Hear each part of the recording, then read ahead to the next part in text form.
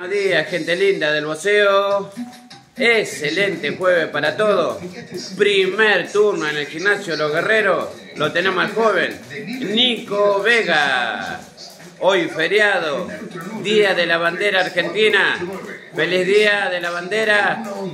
Y acá haciendo patria, trabajando, señores. Para que se le cumplan los sueños, hay que trabajar, señores. No queda otra, ¿eh? Que Dios los colme bendición a todos, señores.